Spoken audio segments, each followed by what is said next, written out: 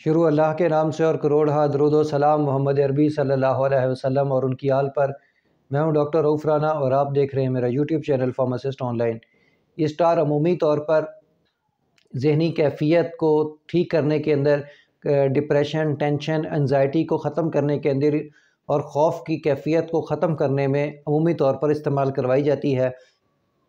ये किस तरीके से मर्ज़ को ओवरकम करती है? इसके मुमकिन साइड इफ़ेक्ट्स क्या क्या हो सकते हैं?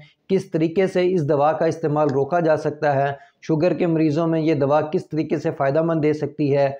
और इस दवा को जो इसकी ओवरडोज़ है, वो उसे मुमकिन साइड इफ़ेक्ट्स क्या क्या हो सकते हैं? ये तमाम मालूम आज की इस वीडियो में शामिल है। इससे पहले कि अगर आपने हमारा ये चैनल सब्सक्राइब नहीं किया तो बर करम इसको सब्सक्राइब कर लीजिए ताकि हमारे आने वाली तमाम वीडियोज़ तवातर के साथ आपको मिलती रहें।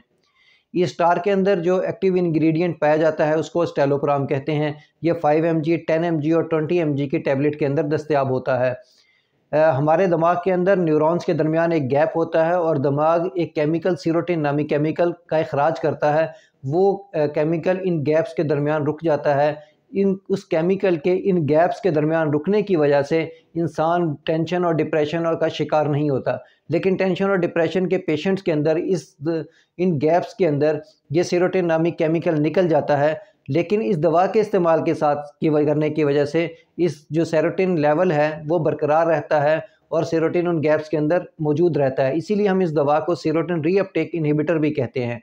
इस दवा के इस्तेमाल के, से मरीज़ों के अंदर जो एनर्जी लेवल है, वो इंक्रीज़ रहता है। इंसान अपने आप को बेहतर महसूस करता है फीलिंग ऑफ़ वेल बींग होता है, उसका नर्वसनेस जो होता है वो ख़त्म हो जाता है, कम हो जाता है, उसकी टेंशन डिप्रेशन एनजाइटी की जो कैफियत है, वो आहिस्ता आहिस्ता कम होना शुरू हो जाती है। इसीलिए हम अमूमी तौर पर इसका इस्तेमाल पैनिक डिसऑर्डर के अंदर जनरल एनजाइटी डिसऑर्डर के अंदर या सोशल एनजाइटी डिसऑर्डर के अंदर, डिप्रेशन के अंदर, टेंशन के अंदर, ऐसे मरीज़ जो बाहर लोगों से मेल जोल के में खौफ का शिकार होते हैं, उनमें अमूमी तौर पर इस दवा का इस्तेमाल करवाया जाता है।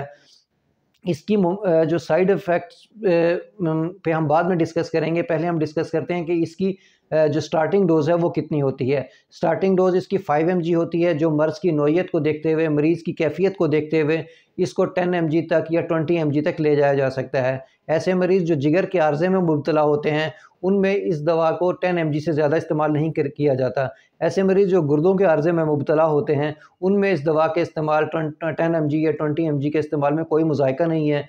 वो जितनी डॉक्टर मतलूबा मकदार कहे, वो इसका इस्तेमाल कर सकते हैं। इसके मुमकिन साइड इफ़ेक्ट के अंदर टेंशन, डिप्रेशन की जो कैफियत है वो तो ख़त्म हो जाती है। लेकिन इसके साथ साथ आँखों से धुंधला नज़र आना इसकी एक साइड इफ़ेक्ट है। बेखाबी की कैफियत इसके साइड इफ़ेक्ट है।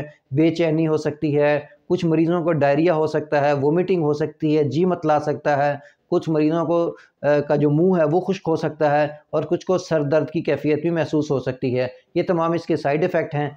कुछ मरीज़ों के अंदर उनके दिल की धड़कन बेतरतीब या तेज़ होती महसूस होती है। लेकिन ये तमाम साइड इफ़ेक्ट जो हैं, दवा के इस्तेमाल के साथ साथ कम हो जाते हैं और ख़त्म हो जाते हैं। अगर इनमें से कोई साइड इफ़ेक्ट बरकरार रहे तो अपने डॉक्टर से या अपने फार्मासिस्ट से रबता करें, ताकि वो इस दवा का कोई अल्टरनेट आपको दे सके। सेक्सुअल साइड इफ़ेक्ट्स के अंदर शहावत की कमी, इसके एक साइड इफ़ेक्ट हैं, या इंजाल का वक्त जो है जैकुलेशन टाइम उसमें इंक्रीज़ होना भी इसके साइड इफ़ेक्ट्स में शामिल हैं। इसकी ओवरडोज में स्वेटिंग टेंशन परेशानी कोमा की कैफियत हो सकती है अगर आप इस दवा का इस्तेमाल सात से आठ गुना तक ज़्यादा कर लें। इस दवा को खाने के फ़ौर बाद ये दवा आहिस्ता आहिस्ता जिसम में अब्ज़ॉर्व होना शुरू होती है और 12 से 26 घंटे के दरमियान ये तमाम दवा जिसम के सारे हिस्सों में डिस्ट्रीब्यूट हो चुकी होती है। ये दवा जो है गुर्दे के रस्ते पेशाब के ज़रिए जिसम से खारिज हो जाती है और तकरीबन 30 घंटे के अंदर तमाम दवा जिसम से निकल चुकी होती है। शुगर के मरीज़ ज़्याबतीस के मरीज़ों के अंदर इस दवा का इस्तेमाल कराने से शुगर कंट्रोल करने में बेहतर नतज मिले हैं। चूँकि मरीज़, जो मरीज़, जो टेंशन और डिप्रेशन का भी शिकार होते हैं, अगर शुगर के उन मरीज़ों में इस दवा का इस्तेमाल करवाया जाए तो शुगर जो है, वो बेहतर अंदाज से कंट्रोल हो जाती है। चूँकि उन मरीज़ों के अंदर जो है टेंशन की कैफियत ख़त्म हो जाती है। ऐसे मरीज़ जो इस दवा का इस्तेमाल करते हैं और इनको हाइपोमीनिया हो चुका है ओवर कॉन्फिडेंस हो चुके हैं, ज़्यादा बोलने लगे हैं, ज़्यादा कॉन्फिडेंट हो चुके हैं ओवर एक्टिंग की तरफ़ है, या वो ज़्यादा पैसे खर्च करने लगे हैं तो ऐसे मरीज़ों को डॉक्टर से रबता करना चाहिए ताकि डॉक्टर उस दवा की जो मकदार है वो कम कर सके। इस दवा का इस्तेमाल ख़ुद से तर्क नहीं करना चाहिए। अगर फौरी तौर पर ख़ुद से ही तर्क कर दिया जाए तो पुरानी अलामत ना सिर्फ़ वापस आ सकती हैं, बल्कि पुरानी ज़्यादा शिद्दत के साथ भी वापस आ सकती हैं। इसलिए इस दवा का इस्तेमाल आहिस्ता आहिस्ता तर्क करना चाहिए, डॉक्टर के मशवरे के साथ तर्क करना चाहिए। डॉक्टर मरीज़ की जो कैफियत है, उसको देखते हुए आहिस्ता आहिस्ता इस दवा की मकदार को कम करेगा और कम करते करते इस दवा का इस्तेमाल तर्क करवा देगा। मुझे उम्मीद है कि मेरी ये वीडियो आपको पसंद आई होगी। अगर पसंद आए तो इसे लाइक और शेयर ज़रूर कीजिएगा। अल्लाह आपको और आपके तमाम अहल खाना को, सेहत वाली ज़िंदगी अता करे। अल्लाह हाफिज़।